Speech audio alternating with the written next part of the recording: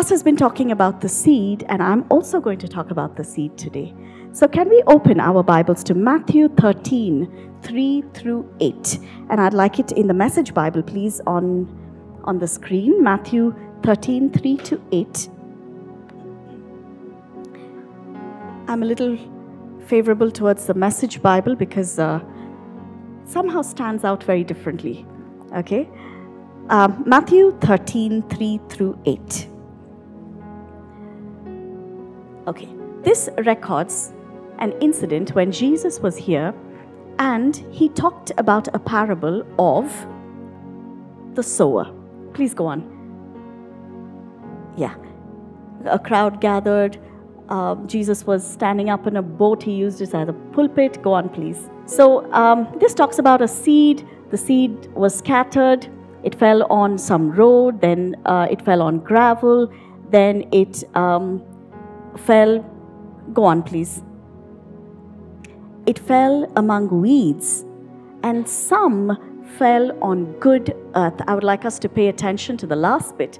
Some fell on good earth and produced a harvest beyond his wildest dreams.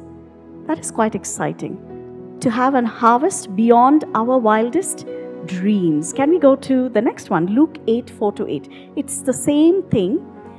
All right. I'm just concentrating on the word that describes the harvest there. If we can pay attention to the harvest. 4 to 8, go right down. It's the same thing. Again, there is a road, there is weeds, there's gravel, and next, they fell on rich soil. Other seed, all right, please note it is seed, fell on rich earth and produced a bumper crop. A bumper crop happens when there's such an abundance that these containers cannot hold them. All right? A harvest beyond imagination, a bumper crop. This is what I want to concentrate on. How do we get there? Any of you interested in this? Yes? We all want to know how to get it? Yes? And I'm really excited to tell you how to get it. It is yours. And the best part is you already have it, right? That is the most exciting thing. We already have it, but how do I manifest it? And it is always, always a joy to bring that message to you. The factors needed for us, all right? So I'm opening up the secret to you. It's very simple. There are two factors needed there. One is the soil itself, and the next thing is the seed. These are the two main factors that we're going to look into. So when you look at the soil, here it constantly talks about soil which was not good, soil which was not good, soil which was not good. And we keep hearing the sermon and again and again saying, you have to be good soil. Right? Don't be the soil where the seed will dry up and die, where something will happen and the seed does not grow at all. I would like to tell you today that you are already good soil. So the first thing is that I am already good soil. How do I know this? Open to Ezekiel 36, 26 to 27. Ezekiel 36, 26 to 27. It's a very beautiful verse which says,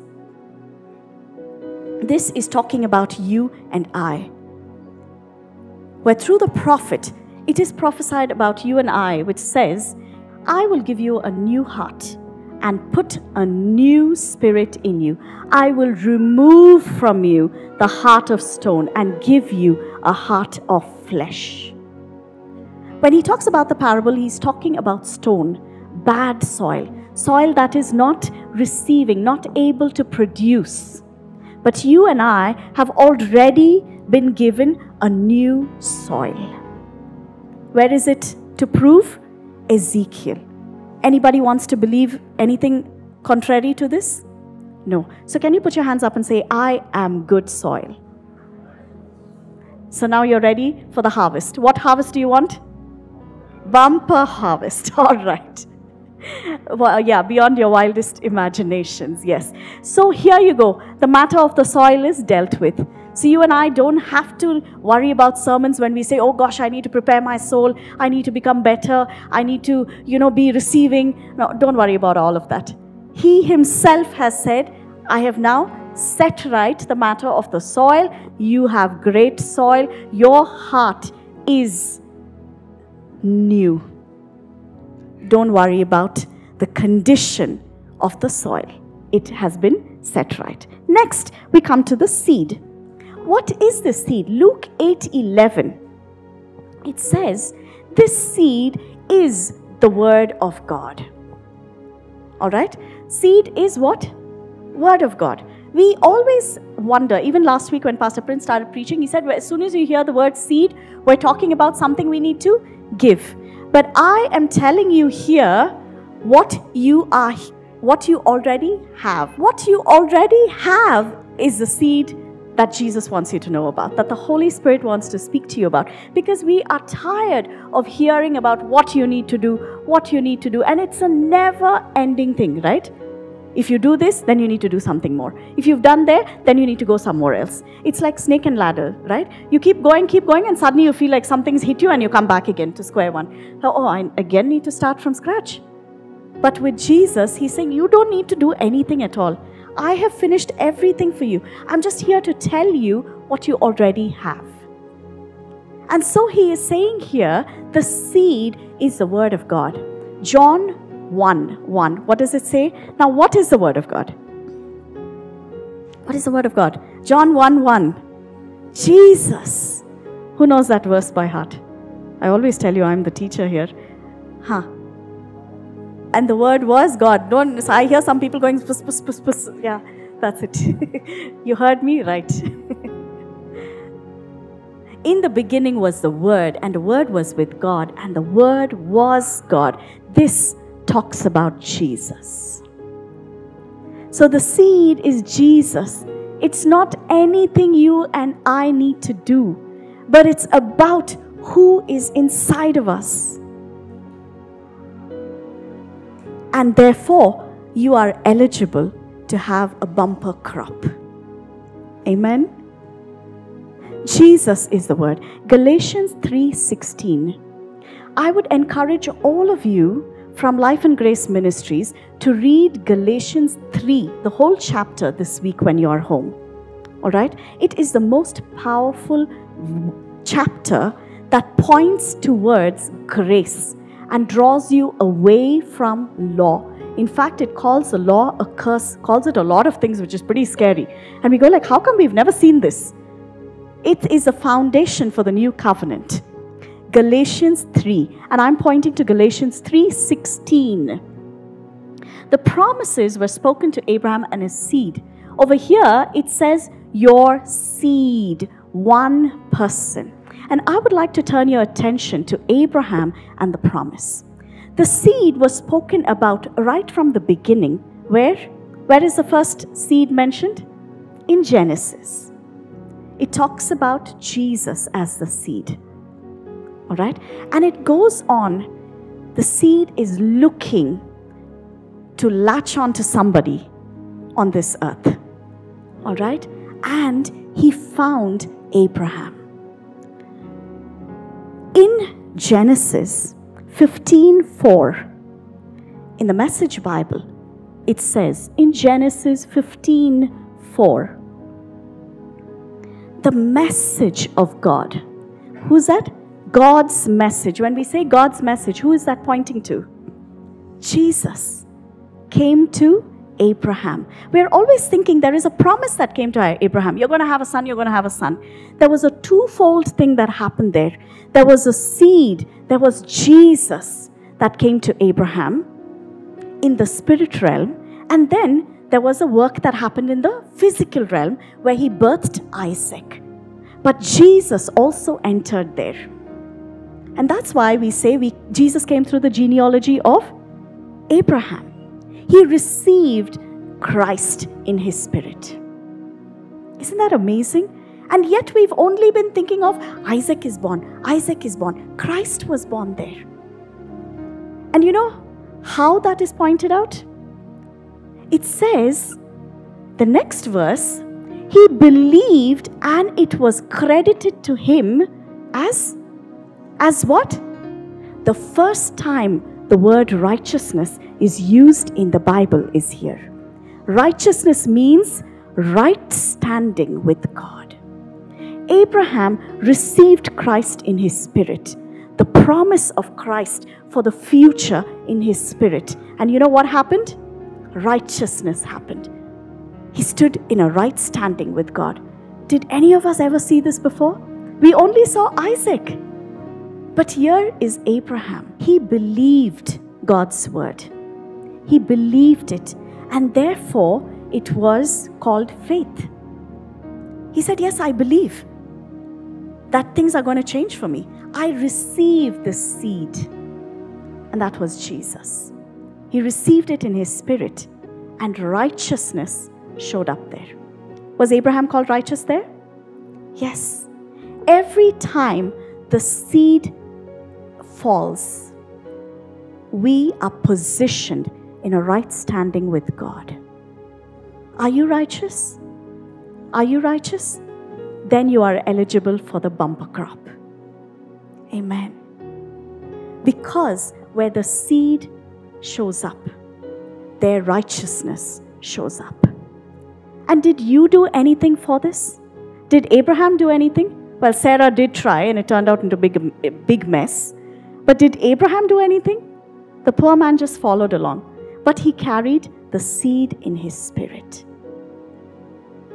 And every time he carried that seed in his spirit, it opened up righteousness. He stood with a right standing before God, that he was able to intercede for people.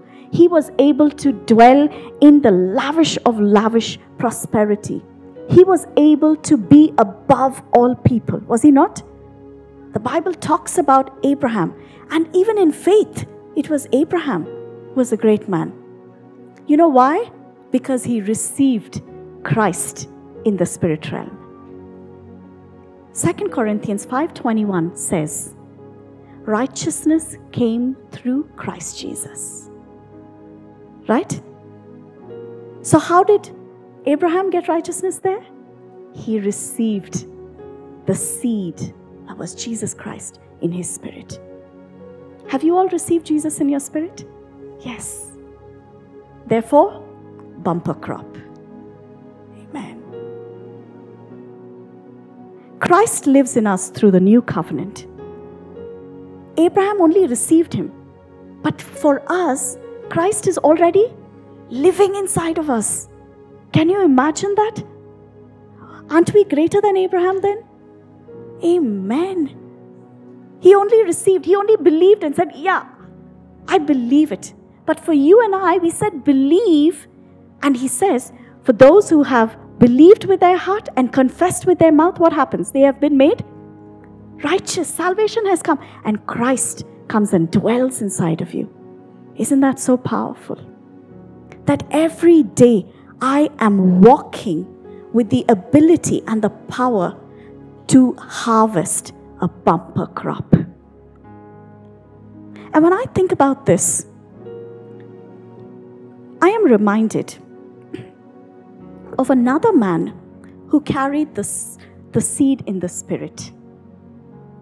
When God's message came to Abraham, he also gave him a lot of prophecies.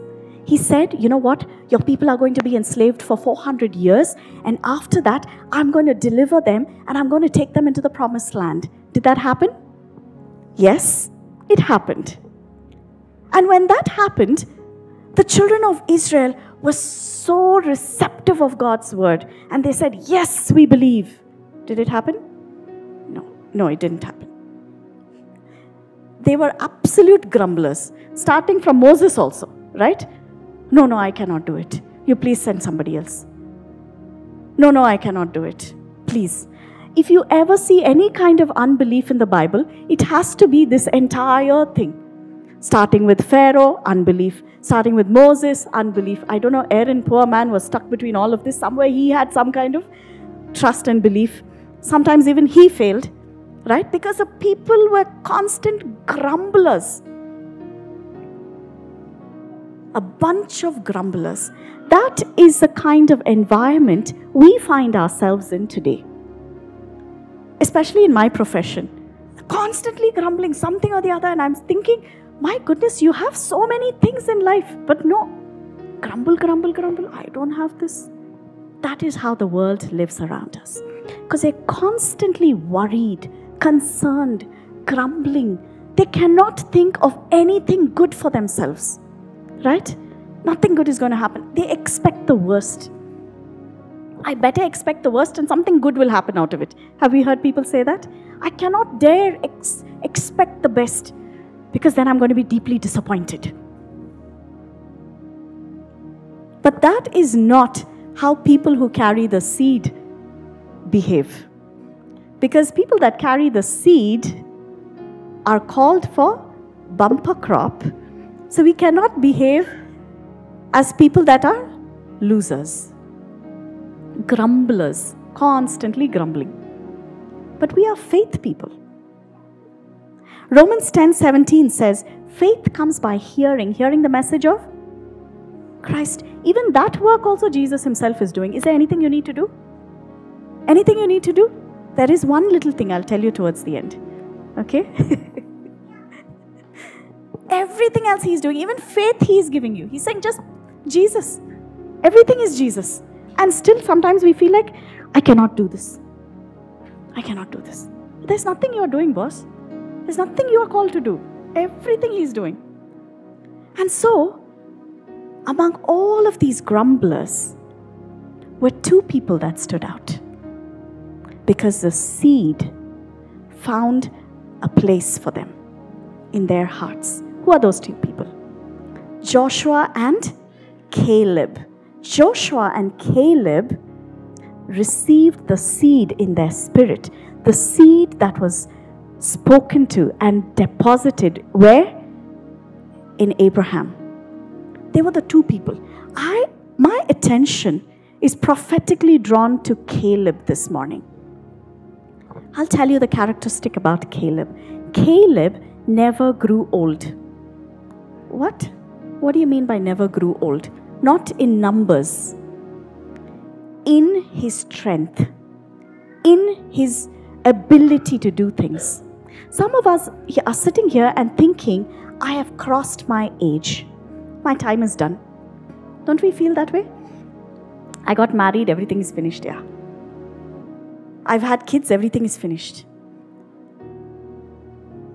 And I'd be bold enough to say, oh, my fa- marriage fell through, I can't do another marriage, yeah, I, I just can't do this. Right? I can't do, I can't think of a second chance because it, I don't think it's going to happen. Don't we feel that way? Because time has passed. But Caleb stands as a testimony to say, God is beyond your age.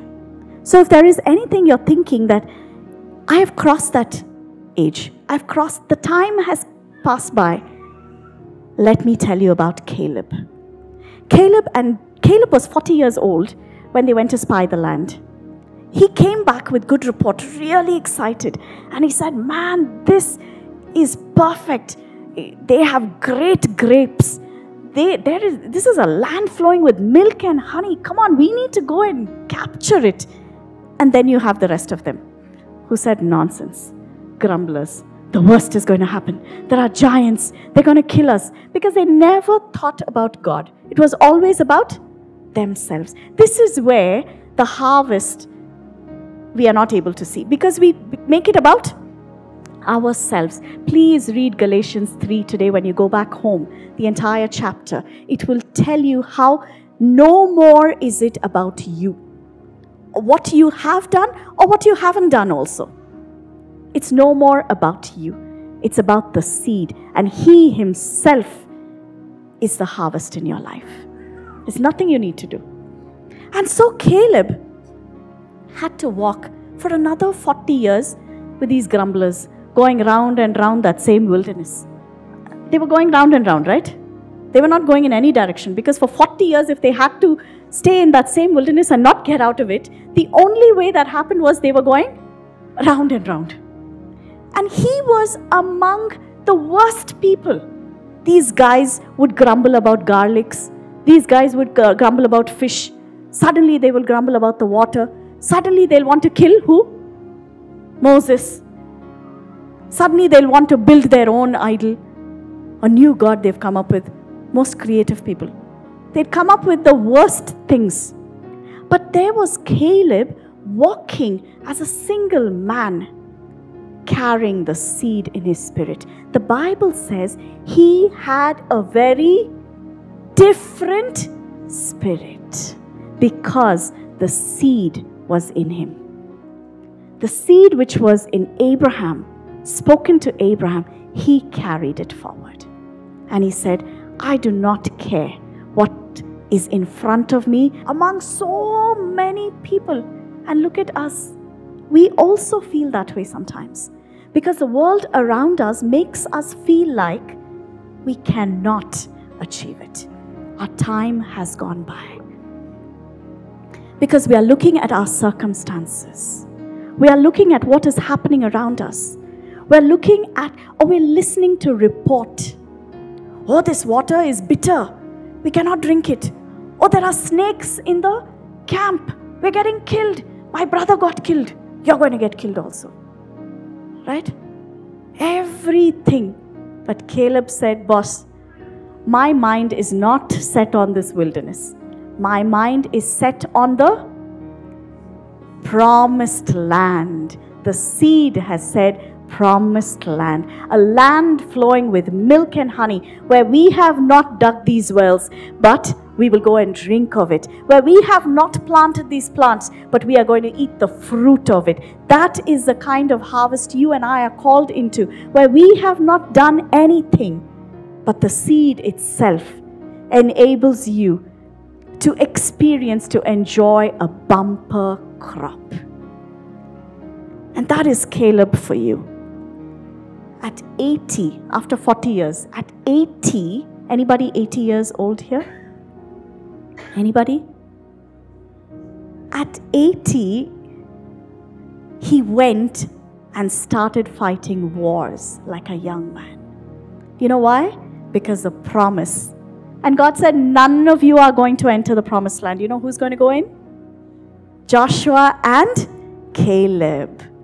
Among 30 lakhs of people, they grumbled because the seed, they could not receive the seed. They only saw what was happening around them. They only saw what was happening around them. Do you find yourself in that situation today?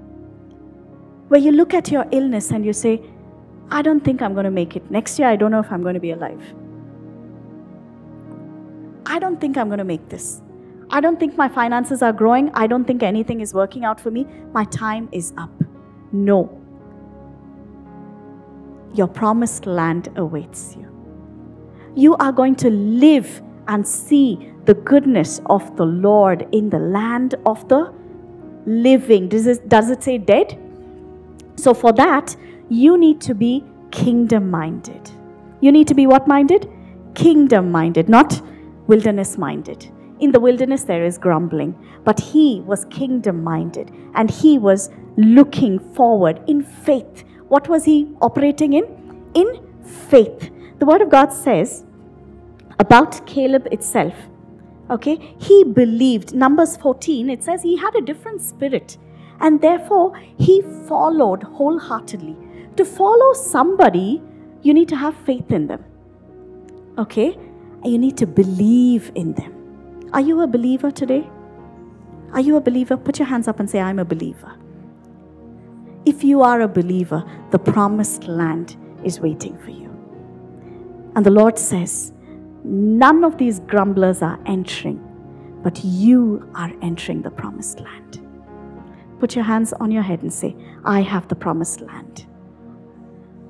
Whatever it is, the promised land for you, whatever you are waiting to see. It could be a breakthrough in your health. It could be a breakthrough in your finances. It could be a breakthrough in your workplace. It could be a breakthrough in your personal life.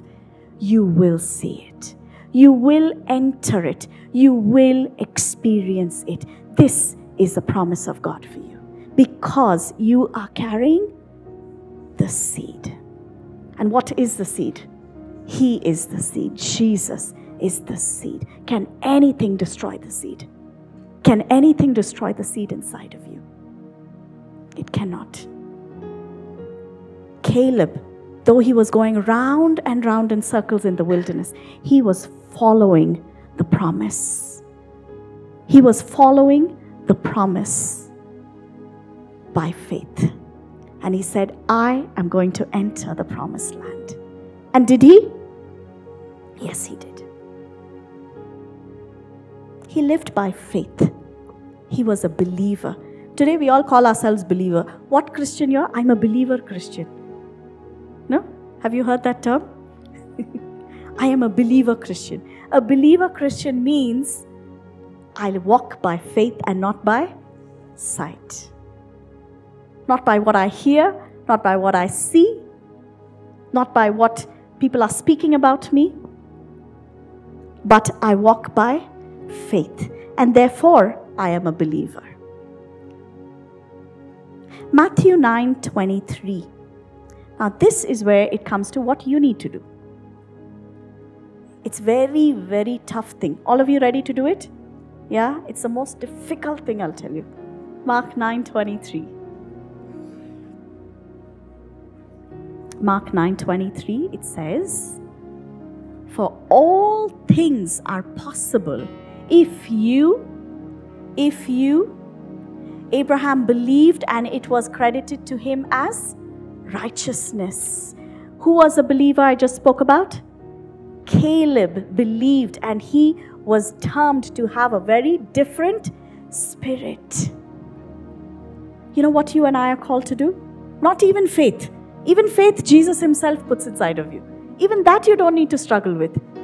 Because the Father who had a son who was tormented by an evil spirit said, Jesus, help me in my unbelief. Even for that, you can go to Jesus. And he's saying, My seed is there. Faith also is taken care of.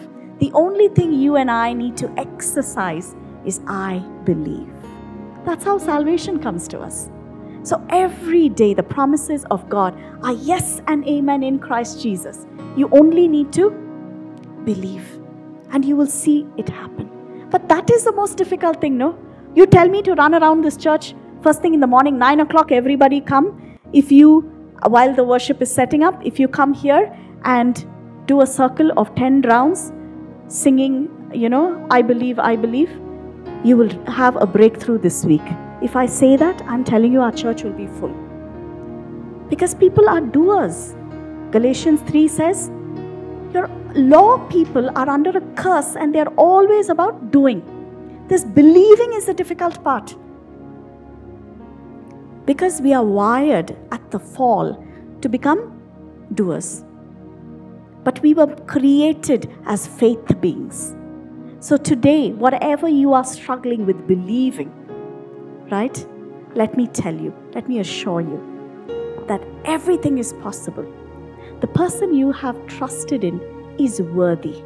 He is able to do exceedingly abundantly, much more than you can ask or imagine. What a powerful verse, Ephesians 3 20 to 21. Exceedingly abundantly. That is a kind of harvest. When you believe, you will receive it. This morning, if you're struggling with believing in something because of the way things are going contrary, fix your eyes on Jesus. There is nothing you need to do. The seed will produce its harvest. Your only job is to believe, and you will walk in the promised land. Just as Abraham saw in his spiritual eyes, he saw Jesus on the cross of Calvary. He saw the finished work of Jesus. Caleb saw and received the promised land by faith because he believed the seed that was deposited in him.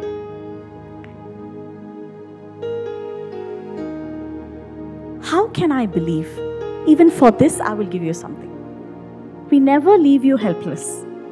So you cannot say, I, nobody taught me how to believe.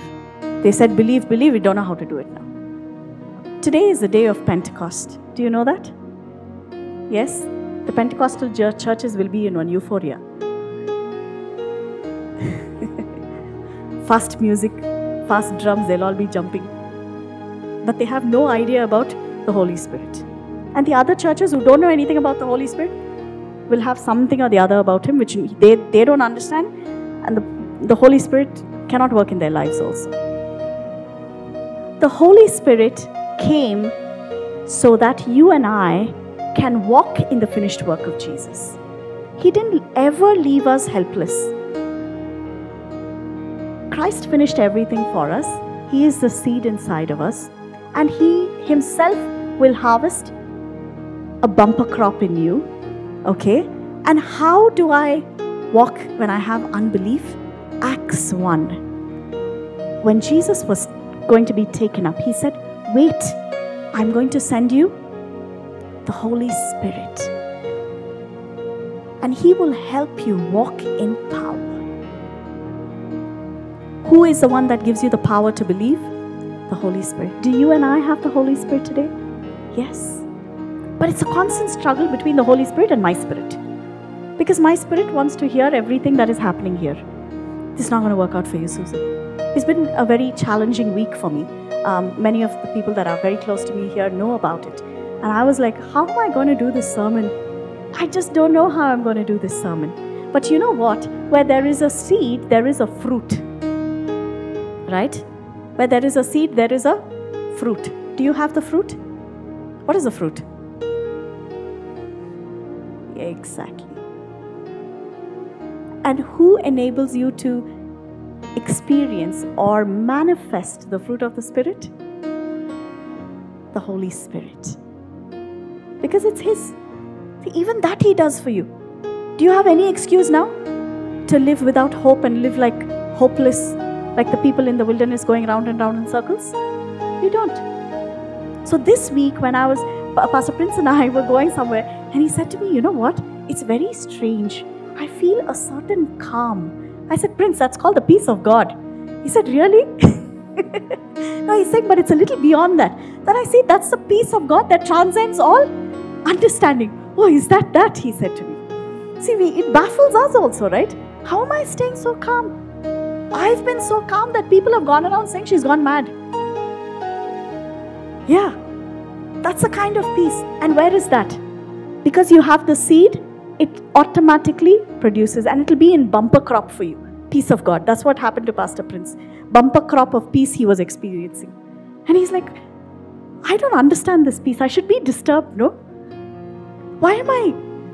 Literally, I had to tell him, relax, that is called peace of God. you yourself will be surprised by the joy that fills you. How, when I'm going through such terrible things, am I experiencing this joy? Because the seed is inside of you and it is producing the fruit.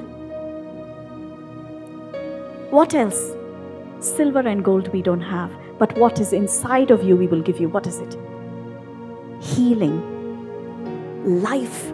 You have the life giving seed inside of you. You have no excuse to live like the grumbling people, like the people you see around you, like the people that are around you.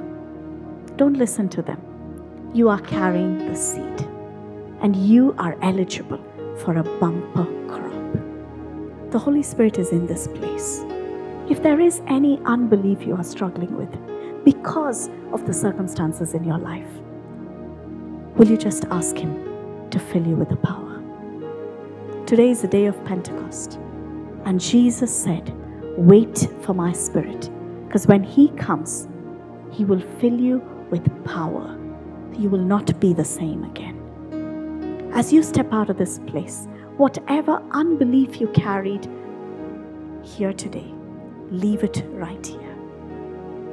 As you step out, get ready for the bumper crop beyond imagination abundantly, exceedingly, beyond my